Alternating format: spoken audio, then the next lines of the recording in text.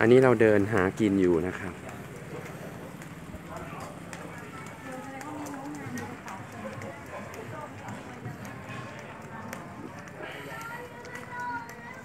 เราหาที่กิน ไม่รู้ว่า จะเจออะไร กี่โมงแล้วเนี่ย บ่ายสามนะครับพาพี่อ้อมอีกแล้ว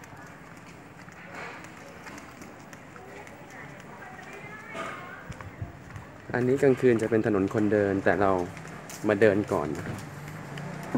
ทุกอย่างยังว่างๆอยู่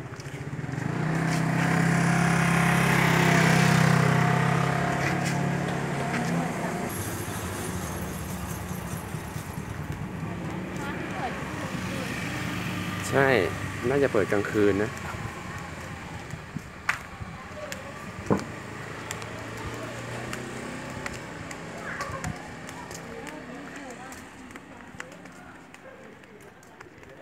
ผ้าสิ้นเย็บผืนละร้อยเอง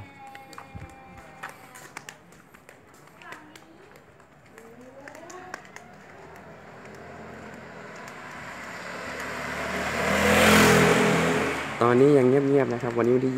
26 คนยังไม่มากัน แต่ดูคืนนี้อีกทีว่าจะยังไง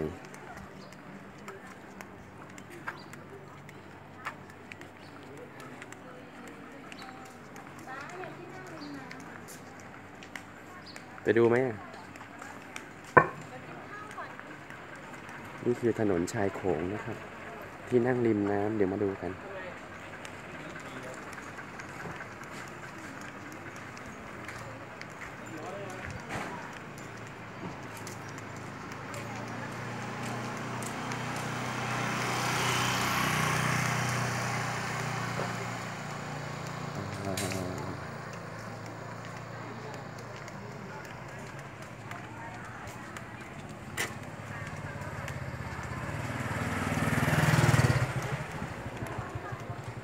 ใบละสามเก้า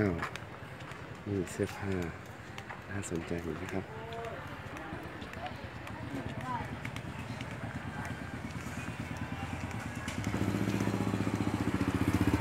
บรรยากาศโอเคนะเนี่ย